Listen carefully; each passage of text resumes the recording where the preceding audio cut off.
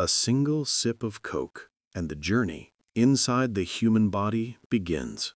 As the cold, fizzy liquid touches the tongue, tiny bubbles burst across the taste buds, activating receptors instantly. The camera moves inside the mouth, following the Coke as it slides down the esophagus into the stomach. Inside, a dramatic reaction starts.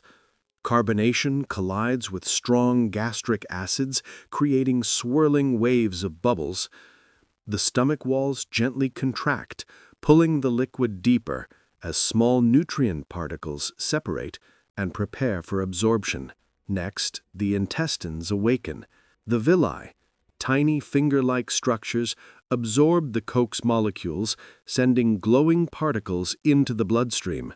The camera follows these bright particles as they travel with red blood cells through veins and arteries.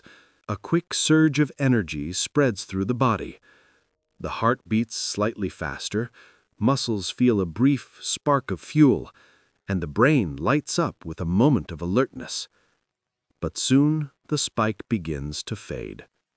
Glucose levels rise quickly, then drop, cells lose their brightness, and a soft wave of fatigue settles in. One sip, one chain reaction, a cinematic journey of Coke inside the human body.